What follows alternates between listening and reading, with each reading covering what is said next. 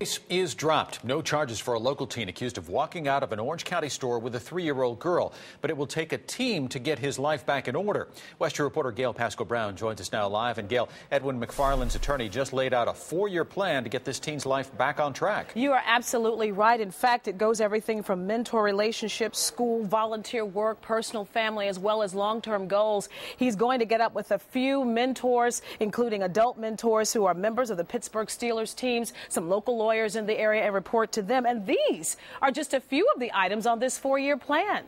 You know, Edwin received a football from the Navy team and who's got his support. They got his back too. A lot of folks are helping this young man. He wants to become a volunteer for a local service organization and be a positive role model just to make supporters proud. And he does have a long term goal of being a first round draft pick of the NFL. Now, he is a quiet young man, but we did get a chance to ask him about everything that's happened and the fact that the state attorney's office decided not to file charges against him.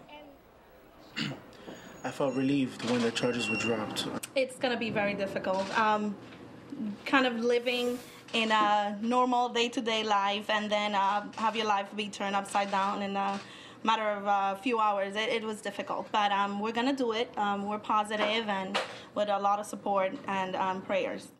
Mildred uh, Roman there, his mother, basically saying that she can do it with prayers. Back here live now, we were told that uh, he will return to Orange County Public Schools, but his attorney Natalie Jackson says they're not ruling out the possibility of private school.